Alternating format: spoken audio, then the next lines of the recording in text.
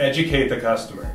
Take the time to educate your customer through the repair process. This isn't happening anywhere else.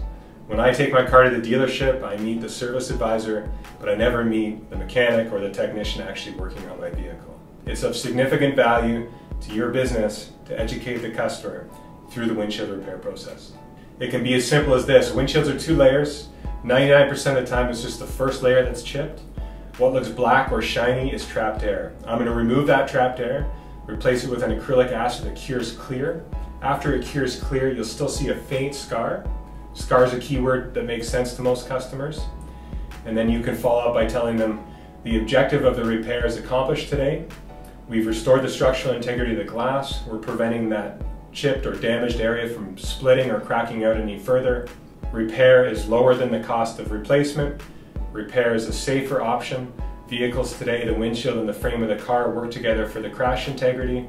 Protect yourself and save your windshield.